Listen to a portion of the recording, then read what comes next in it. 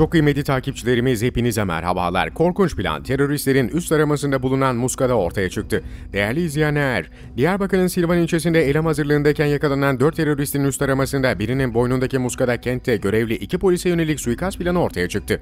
Silvan ilçesinde terör örgütü PKK ve KCK'nın şehir merkezlerindeki yapılanması YPS'ye yönelik İl Emniyet Müdürlüğü Terörle Mücadele Şube Müdürlüğü ekipleri tarafından yapılan çalışmada iki gün önce saldırı hazırlığında oldukları belirtilen 3 kişinin bulunduğu otomobil durduruldu.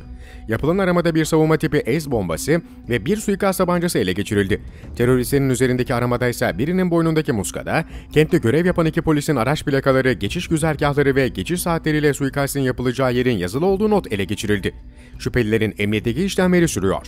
Haberimizin sonuna geldik. Sizlerden kanalımıza abone olmanızı, videolarımızı beğenmenizi ve nokta dahi olsa yorum bırakmanızı rica ediyoruz. Bir sonraki haberde buluşmak üzere, hoşçakalın.